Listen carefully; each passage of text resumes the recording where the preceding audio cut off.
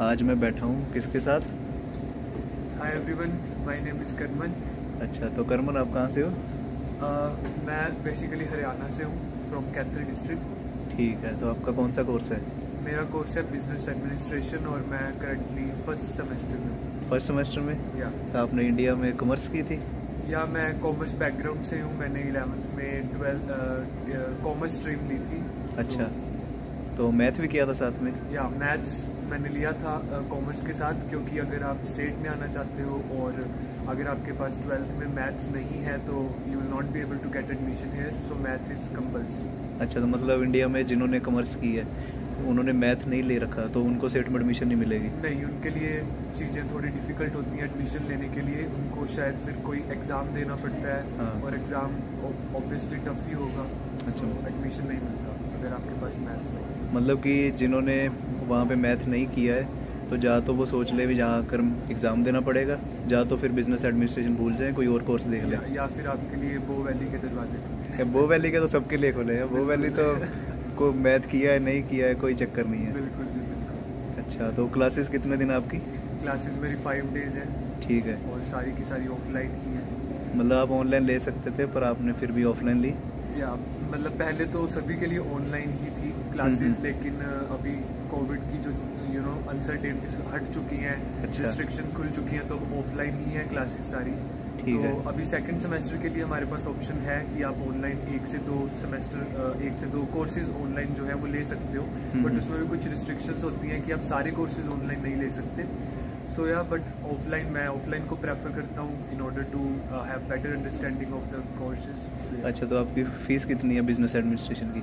Fees मेरी एक semester की ऑलमोस्ट टेन थाउज़ेंड डॉलर्स है टेन uh, थाउज़ेंड या और साथ में आप मतलब यहाँ पे सेट कॉलेज है स्टैंडर्ड्स थोड़े बड़े हैं तो आपको बुक्स भी परचेज करनी पड़ेंगी अच्छा। मतलब ए, एक अ, होता है कि कंपल्शन नहीं है लेकिन बुक्स की कंपल्शन है क्योंकि आपको एक एक्सेस कोड खरीदना होता है हर बुक का और जब तक। वो आप एक्सेस कोड नहीं खरीदते हो तब तक आप असाइनमेंट नहीं कर सकते हो सो अच्छा। पाँच कोर्सेज हैं हर एक बुक की कॉस्ट नियर अबाउट 80 90 डॉलर्स या 100 डॉलर्स होती है तो आप एस्टिमेट कर सकते हो कि पाँचों कोर्सेज की बुक्स की कॉस्ट कितनी होगी अच्छा मतलब बिज़नेस वाले सारे बुक्स भी ले रहे हैं? हाँ बिल्कुल बुक्स मतलब कंपलसरी है। द, दस हज़ार फ़ीस होगी छः लाख रुपए?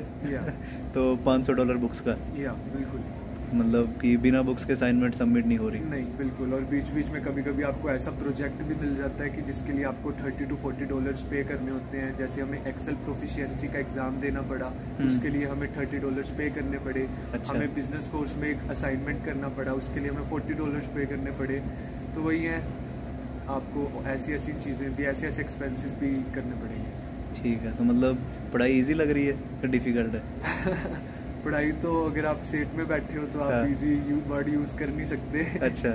बट या मतलब अगर आप काम नहीं कर रहे हो बेसिकली हम्म। तो आपके लिए चीज़ें थोड़ी इजी हो सकती हैं अगर आप है। अच्छे स्टडी कर रहे हो हम्म। पीछे से आप हार्ड वर्क करते आए हो आपके ग्रेड्स अच्छे हैं आपका कॉमर्स बैकग्राउंड है हम्म। अगर कोई वर्क कर रहा है और मतलब वो काफ़ी शिफ्ट लगा रहा है ट्वेंटी आवर्स भी करना मुश्किल हो जाता है अगर हाँ। आप सेट में स्टडी कर रहे हो हाँ, सही बात है। सेट में असाइनमेंट्स क्विज टेस्ट मतलब एक के बाद एक एक के बाद एक और हम्म। अगर आप एक भी स्किप करते हो या आप काम ज़्यादा करने लगे हो तो आपके ग्रेड्स बहुत ही हायर रेट से नीचे जाएँगे तो जो हाँ। कि अगर आप जितना कमा रहे हो फिर अगर एक आधा कोर्स बाय चांस फेल हो जाते हो तो आपको नेक्स्ट सेमेस्टर में दोबारा से वो 1800 2000 का लेना पड़ेगा हम्म। तो फिर वो वर्थ इट नहीं है अच्छा तो आपको पढ़ना पड़ेगा। यहाँ पे चीज़ें इतनी इजी नहीं है। नहीं सीम्स मतलब in comparison to other colleges set के कुछ स्टैंडर्ड्स हैं जो हाई हैं तो फिर हार्ड वर्क करना पड़ता है। अच्छा इंडिया की आपने ट्वेल्थ करी है ना वहाँ से? ट्वेल्थ की पढ़ाई और सेट का डिप्लोमा कितना डिफरेंस है? मतलब अगर आप वहाँ पे भी हमने बोर्ड के एग्ज़ाम दिए हैं। हाँ तो यहाँ पर ट्वेल्थ में अगर आप कॉमर्स बैकग्राउंड से हो आपने मेनली तीन सब्जेक्ट्स होते हैं कॉमर्स में अकाउंट्स बिज़नेस एंड इकोनॉमिक्स। अगर आपने अच्छे से पढ़े हुए हैं तो आप मैं ये नहीं कहूँगा कि आपको यहाँ आके आप बहुत मज़ा आएगा और मतलब आप सब कुछ करते चले जाओगे हम्म। यहाँ पे आ, आके आपको थोड़ा रिलैक्सेशन मिलेगा क्योंकि कुछ टर्म्स कुछ थोड़ी बहुत टर्म्स चैप्टर के स्टार्टिंग में आप उनसे वेल वर्स्ड होंगे आपको पता होंगे कि हाँ इसका मतलब मुझे पता है मैं जानता हूँ जैसे मुझे फ़र्स्ट सेमेस्टर में मेरे पास सब्जेक्ट है अकाउंटेंसी तो है। वो सारी इंट्रोडक्टरी अकाउंटिंग है वो सारी मैंने इलेवेंथ में पढ़ी हुई है हम्म। बट स्टिल मुझे उसमें ज़्यादा वर्क करना पड़ रहा है क्योंकि देखो, यहाँ पे हाँ। अकाउंटिंग के स्टैंडर्ड्स कनेडियन स्टैंडर्ड वो तो अलग है वो तो वैसे भी करना पड़ेगा वो ट्वेल्थ थी अब जो उसके ऊपर की हायर स्टडी है या तो थोड़ी सी चीज़ें अलग होती हैं बट या थोड़ा कुछ आप फ़र्स्ट सेमेस्टर में पता होती हैं आपको चीज़ें तो आपको इतना नहीं होता कि मैं सब कुछ नया ही पढ़ रहा हूँ। एक हम्म। दो कोर्सेज होते हैं इकोनॉमिक्स अकाउंट्स बिज़नेस आपको पता होती हैं चीज़ें बट सब कुछ नया भी नहीं होता और सब कुछ प- ये भी नहीं होता कि अच्छा। सब कुछ पहले से ही होता है। तो अब अभी आप कुछ जॉब कर रहे हो?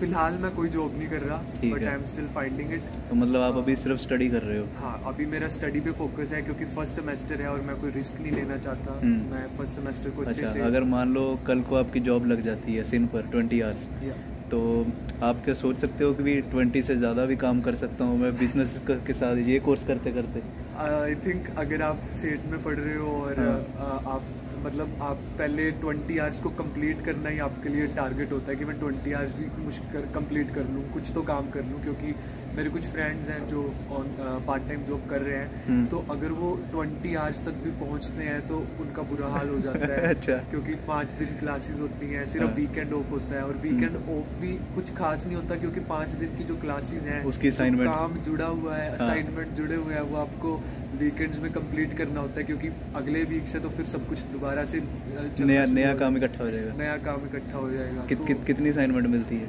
असाइनमेंट एक एक दिन में एक मिल जाती है?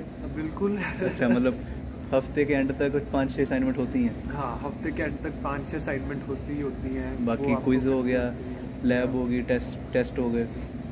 क्विज होते हैं टेस्ट होते हैं प्रेजेंटेशंस यहाँ पे बहुत मैटर करती हैं। अगर आप बिज़नेस कोर्स लेते हो तो फ़र्स्ट सेमेस्टर में आपको एक कोर्स जुड़ जाता है कम्युनिकेशन एंड प्रेजेंटेशन स्किल्स तो उसमें हम्म। आपको क्लास के सामने खड़े होके प्रोजेक्टर पे अपनी प्रेजेंटेशन शुरू करवा के प्रेजेंटेशन देनी होती है in front of the class अच्छा। तो ऐसी चीज़ें भी हैं मतलब आपकी हर एक स्किल को टेस्ट किया जाएगा और इसलिए थोड़ी चीज़ें यहाँ पे डिफ़िकल्ट अच्छा मान लो अब दस हज़ार फ़ीस है आपकी एक सेमेस्टर की। तो एक साल की बीस हज़ार होगी। तो जो बंदे मतलब कि इंडिया में फाइनेंशियली स्ट्रॉन्ग नहीं है जिनके पेरेंट्स के पास इतना पैसा नहीं है तो वो जैसे जहाँ पर आके ज़्यादा काम भी नहीं कर पाएँगे तो ऑब्वियस है कि फ़ीस उनकी उनसे मैनेज नहीं हो पाएगी या मतलब ऐसे ऐसे लोगों के लिए या है ना ऐसे मतलब मैं यही एडवाइस दूँगा कि सेठ इतना भी क्रूअल नहीं है मतलब हम्म। बहुत ज़्यादा मतलब मनी स्पेंड करता है सेट फॉर स्कॉलरशिप्स हम्म। तो अगर आपके ग्रेड्स अच्छे हैं आपके सेमेस्टर में जो जी पी है थ्री पॉइंट फाइव से ज़्यादा जा रही है आप बर्जरीज के लिए अप्लाई कर सकते हो जो कि एक तरह की फाइनेंशियल एड होती है इंटरनेशनल हम्म। स्टूडेंट्स को प्रोवाइड की जाती है हम्म। आप स्कॉलरशिप्स के लिए अप्लाई कर सकते हो वो भी एक काफ़ी अच्छा तरीका होता है प्लस आप कोप के लिए जा सकते हो इंटर्नशिप्स के लिए जा सकते हो या फिर दो सेमेस्टर्स के बाद जैसे इन माई। केस दो सेमेस्टर्स के बाद हमें एक ऑप्शन मिल रहा है कि हम चार महीनों का जो है ड्रॉप ले सकते हैं हम्म। सो हम चार महीने के लिए अपनी स्टडी को रोक सकते हैं और हम उन चार महीनों में फुल टाइम काम कर सकते हैं हम्म। सो अगर हमने दो सेमेस्टर्स की फ़ीस इंडिया से हमारी आई हुई है और हम हमसे फ़ीस नहीं मैनेज हुई राइट हम नहीं जोड़ पाए नेक्स्ट सेमेस्टर के लिए तो हम उन फोर सेमेस्टर्स में ब्रेक लेके उन फोर सेमेस्टर्स में अपनी फ़ीस निकाल सकते हैं ऑल आपका जो डिप्लोमा है वो थोड़ा बढ़ जाएगा हम्म। वही चार महीने आपको नेक्स्ट ईयर लेना दोबारा से करना पड़ेगा राइट हम्म। तो बट या अगर आपने फ़ीस निकालनी है तो आपके पास यही एक ऑप्शन हो है हाँ अगर आपने फ़ीस निकालनी है तो जा तो आप चार महीने का ड्रॉप ले लो या। या फिर एक ऑप्शन है अभी सेट इंस्टॉलमेंट प्लान ऑफ़र करता है इसमें आप तीन बार करके फ़ीस दे सकते हो जैसे अगर मान लो आपके सेमेस्टर की फ़ीस की डेडलाइन है बीस मई तो बीस मई को आपको मान लो दस हज़ार फ़ीस है चार हज़ार आपको तब देना है फिर उसके एक महीने के बाद दो हज़ार फिर से उसके एक महीने के बाद तीन चार हज़ार फिर से तो तीन बार करके भी आप फ़ीस दे सकते हो अगर आपको ऐसे नहीं करना तो चार मंथ का ड्रॉप ले लो तो ये कुछ दो तीन तरीके हैं फ़ीस निकालने के ठीक है तो ओवरऑल क्या बताना चाहोगे कि भी कोर्स ले लो या आप वो वैली चले जाओ या कंक्लूजन यही हो सकता है हाँ। कि अगर जैसे कि आप पहले भी हाँ। इनके वीडियोस में सुनते ही हो हम्म। अगर आप पढ़, पढ़, पढ़ने वाले हो हाँ, और। अगर आपका अच्छा बैकग्राउंड है कि बहुत आप पढ़ते थे और हाँ। आपके अच्छे ग्रेड्स आए हुए हैं ट्वेल्थ में इलेवेंथ में तभी आप सेट को सिलेक्ट करो क्योंकि अगर आप सेट में आ रहे हो तो आपको पढ़ना पड़ेगा आपको हार्डवर्क करना पड़ेगा हम्म। आपको अपनी शिफ्ट्स को सेक्रीफाइस करना पड़ेगा क्योंकि हम्म। आपको असाइनमेंट्स करनी ही पड़ेंगी हाँ। और यहाँ पे इंस्ट्रक्टर्स भी इतने ज़्यादा लीनियंट नहीं है कि अगर हम्म। आप दो तीन नंबरों से या चार पाँच नंबरों से फेल हो रहे हो और अगर आप कहो कि मैं जॉब पे था या मैं बीमार था या हाँ। आप मुझे पास कर दो हाँ। बिल्कुल भी नहीं मेरे कंटेक्ट में ऐसे मेरे दोस्त हैं जो एक नंबर से भी फेल हुए हैं तो अच्छा। इंस्ट्रक्टर ने इस इस रिगार्ड में कुछ नहीं किया। तो वही है अगर आप हार्ड वर्क कर सकते हो मैनेज कर सकते हो वर्क को स्टडी को साइमल्टेनियसली तभी आप सेट में आओ। अदरवाइज़ बो वैली या दूसरे कॉलेजेस आपके लिए डेफिनेटली एक अच्छा अच्छा बाकी मैंने एक बात सोची भी हमने बो वैली को कुछ ज़्यादा ही बदनाम किया हुआ है। भी बो वैली चले जाओ ऐसा चले जाओ। बाकी कोई नहीं किसी दिन कोई बो वैली वाले के साथ भी वीडियो बनाएँगे उससे पूछेंगे भी सच में इजी है या कुछ? क्योंकि हमने तो सुना ही है अभी बो वैली ऐसा है वैसा है। बाकी तो जो कॉलेज में पढ़ता होगा वही बता सकता है ना। तो चलो ठीक है आपसे बात करके अच्छा लगा। थैंक यू आई होप जिन्होंने बिज़नेस एडमिनिस्ट्रेशन कोर्स लेना है उनको काफ़ी इन्फॉर्मेशन मिली होगी। अगर आपको कुछ और इन्फॉर्मेशन चाहिए तो इनकी आईडी इंस्टाग्राम की मैं डिस्क्रिप्शन में डाल दूँगा। यू कैन मैसेज हिम ये आपको बता देंगे भी क्या क्या हिसाब है सारा कुछ। मैंने अपने कोर्स का तो आपको बताया हुआ है। So okay thank you so much for having in the video रात के आप लगा लो आठ बज रहे हैं फिर भी देखो आप अभी भी कितनी रोशनी है। तो यही थी आज की वीडियो बेसिकली मैं आपको बताना चाहता हूँ भी जैसे आपने अभी तक तीन चार बंदों से सुन लिया, अभी सेठ की पढ़ाई टफ़ है, ऐसा है, वैसा है मतलब कि मैंने भी कितनी बार आपको बता दिया। तो ये सभी बातें अब आप सोच लो, भी एक बंदे को टफ़ लग सकती है पढ़ाई, पर हर किसी को नहीं, ठीक है ना? अगर मैं दस बंदों को मिलता हूँ तो दस में से नौ यही बोलते हैं भी असाइनमेंट बहुत ज़्यादा है, पढ़ना बहुत पड़ता है काम करने का टाइम नहीं है। तो ये सारी बातें रियलिटी हैं। अभी मैं जा रहा हूँ घर को। अभी आठ बजे इतना दिन है ना, अभी आपको एक डेढ़ महीने बाद दिखाऊँगा। साढ़े नौ, दस बजे तक भी इतना ही दिन होगा।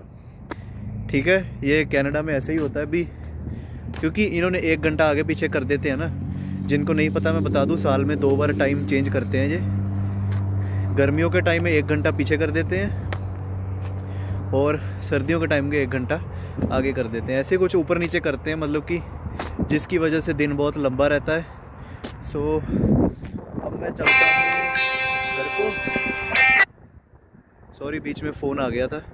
अब मैं जा रहा हूँ घर। अगर आपको वीडियो अच्छी लगी तो चैनल ज़रूर सब्सक्राइब करके जाना। एंड ऐसे ही और इन्फॉर्मेटिव वीडियोस आपके लिए लाता रहूँगा। Thanks for watching goodbye take care